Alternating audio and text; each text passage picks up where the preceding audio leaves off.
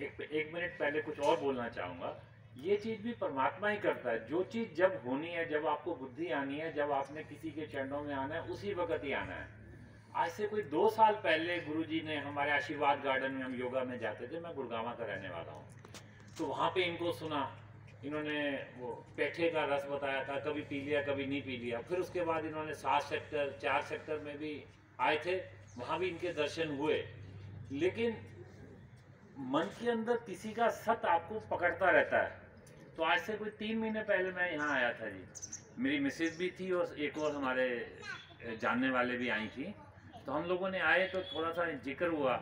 गुरुजी ने हालाँकि बताया कि भाई इस तरीके से घुटने के लिए और मिसेज को अस्थमे के लिए बोले भी आपको अस्थमा 20 साल से है, मुझे आप दो महीने तो दोगे। लेकिन ये विश्वास की बात होती है है ना जी? और इसी तरीके से मुझे घुटनों का था।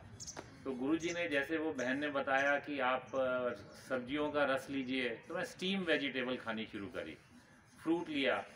लेकिन हमने ये बोला कि गुरुजी हम तो बिल्कुल अनाज के बिना तो नहीं रह सकते। तो इन्होंने इजाज़त दे दी कि चलो आप मेथी की फुल्का दिन में खा लिया करो। तो परमात्मा की कृपा से आज ये तीसरा महीना है। मैंने इस वक्त 97, 88 नौ किलो वज़न कम किया जी। लेकिन उस वज़न से ज़्यादा सबसे ज़रूरी जो हुआ ना जी मतलब कभी भी मैं कुछ करता था तो गुरु जी को आपको प्रणाम डेली किया जी बहुत। आत्मा से जब भी कुछ लिया भगवान के साथ साथ आपको धन्यवाद दिया। तो उसका बहुत फ़र्क पड़ा है जी। अभी जो आज आप लोगों के एक्सपीरियंस सुनने के बाद अभी अभी क्या हुआ जी मैं भी अभी रिटायर हुए मुझे लास्ट ईयर रिटायर हो चुका हूँ। मन तो हर इंसान की ये बेसिक नेचर है कि वो कहीं ना कहीं जुड़ना चाहता है, कहीं कोई समाज को देना चाहता है।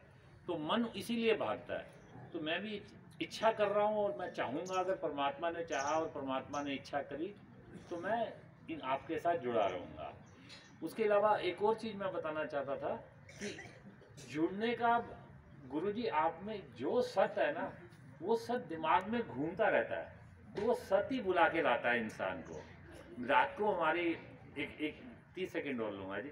रात को हमारी सिस्टर की, बेटी की शादी हुई थी तो हमने खाना उनको बोला हुआ था तो काफ़ी मेहमान थे। रात को वो लोग जाते जाते डेढ़ बज गया। लेकिन सवेरे छः बजे उठ के आत्मा ने कहा, नहीं, जाना ही है।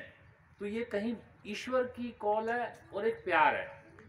उसके लिए मैं आपका बहुत बहुत धन्यवाद दूँ सर और डेफिनेटली नहीं जुड़ने का तो मतलब ही नहीं है। मैं और पूरा परिवार आपके साथ जुड़े रहेंगे।